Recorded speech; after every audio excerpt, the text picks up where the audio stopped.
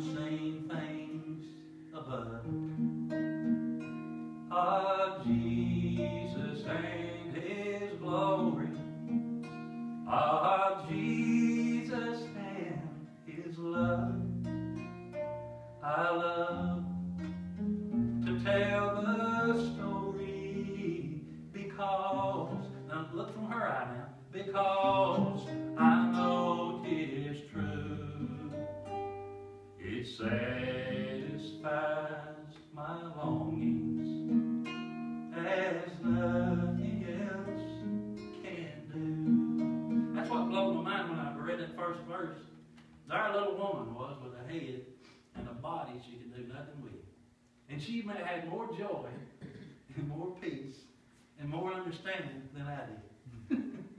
it blew my mind.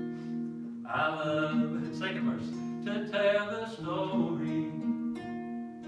Tis joyous to repeat what seems each time I tell it. It gets more wonderful and sweet. Oh, I love to tell the story, for some have story of salvation from God's unholy word. Y'all know what that meant to me when I read that and I sang it? Was there salvation every day for you. You can either be saved from the trials and the voices that get you down during the day in this world, or you can be saved, uh, or not, not saved from this being in our own mind. So it says it's in the Word of God. See, we speak according to our conscience, but God speaks according to the mind of Christ. So when He's speaking in here, you come hear Him. if He raises the dead, He can open your ear. But see, our trouble is we don't have an ear to hear. But David said, Incline thine ear unto me. That's what he said. So we've got to have an ear. Those that have an ear, let him hear. Them that have an ear. That's what Jesus said. So the only one that has an ear is the ones that God has quickened to where we can hear his voice instead of us or anybody else. And it's so hard. Last verse. I love to tell the story of, let's see, to Joyce, not last verse. Uh, love to tell the story.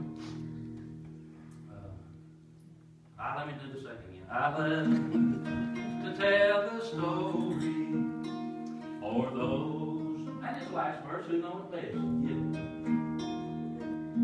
It seems, seems not, uh, uh, yeah, hungry and thirsty. Right? Joyce is right, I'm sorry, y'all.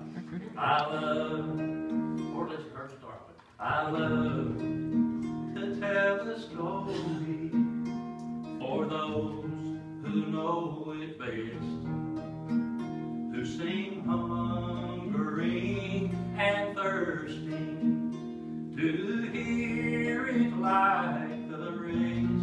I, I keep, keep saying something, y'all. Blessed is he that hunger and thirsteth for the righteousness of God, you know. Because he's going to be filled, you know. All right, there it is. I love to tell the story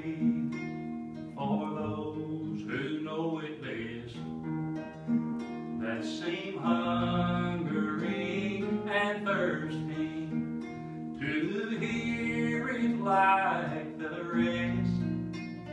When it sings of glory, I sing a new, new song. Twill be the old, old story that I